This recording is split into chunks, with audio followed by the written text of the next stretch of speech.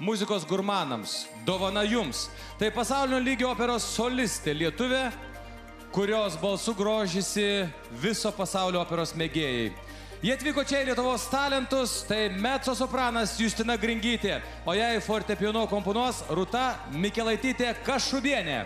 Na ir jūs išgirsite iš tikrųjų nepaprastai jautrę ir dramatišką ariją iš operos Samsonas ir Dalila. Bet ką čia mes kalbam apie operą? Du operos neišmanėliai, kai mes turime nuostabią specialistę ir operos režisierę Dalę Belhuptaitę. Dalę. Apie istoriją, kurią šį vakar pamatysime, norime plačiau sužinoti apie ją. Tai vaikinai, aš pirmiausiai tai turiu pasakyti ir jums, ir um, visiems, visiems um, žiūrovams, kad Justina iš tikrųjų yra pirmoji operos solistė Lietuvos, kuri tarptautiniuose pasaulio e, konkurse, a, nu, apdovanojimuose, tokiuose kaip Oskaruose operų, a, yra laimėjusi geriausios pasaulyje jaunos solistės vardą praėjusiais metais.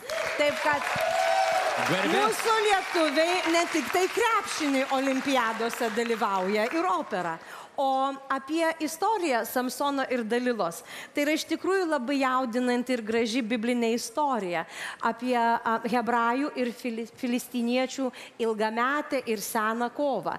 Filistiniečiai niekada negalėjo laimėti prieš hebrajus, nes jie turėjo tokį super, supermeną herojų Samsoną, kuris buvo ne tik tai nepaprastai gražus, bet turėjo magišką galę ir niekas nežinojo, kas tai yra. Ir filistiniečiai sugalvojo panaudoti moters galę, gražuolę Dalilą, kuri beje buvo ir kažkada tai Samsono didelė meilė. Ir štai va tai, ką dainuos Justina, yra arija, kurioje Dalila bando išvilioti iš Samsono paslapti, o kokiagi yra jo gale. Ir kaip jai pasisekė, matyt, turėsiu papasakoti jums po arijos. Po, tai buvo pats nuostabiausias anonsas, ačiū daliai. O dabar mes norime išgirsti ir muzikinį pasakojimą. Taip, ir mes palikime sceną Justinai, o einam Dalilą, aš tau Samsoną parodysiu. Ten yra.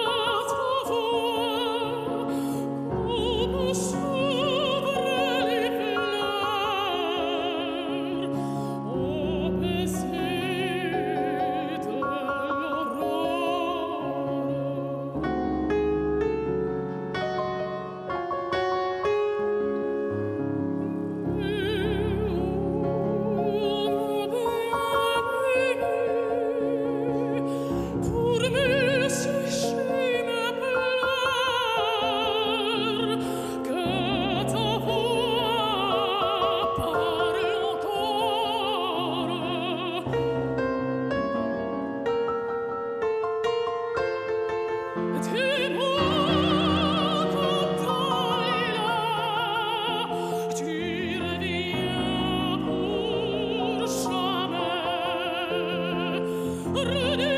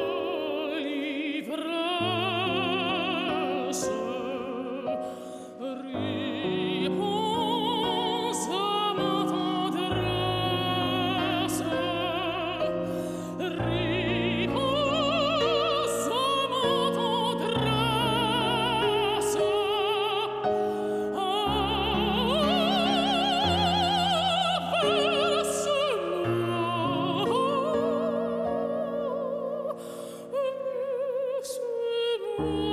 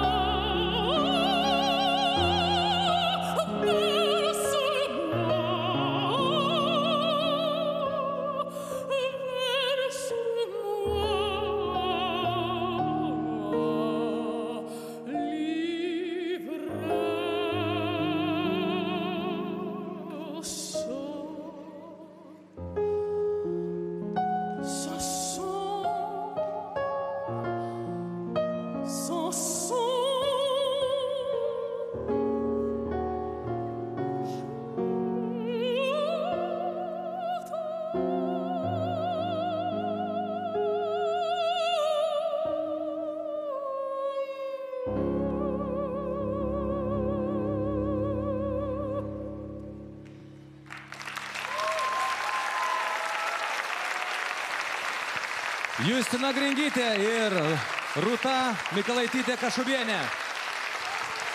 Puikus duetas, puikus pasirodymas. Esam jums dėkingi. Ačiū labai. Dieve, kiek Tai jautrumo. puikia dovana Lietuvos talentų žiūrovams. Mėla dalė, mes sugrįžtam su pažadu paklausti tolimesnių dalykų apie operą. Žinote, o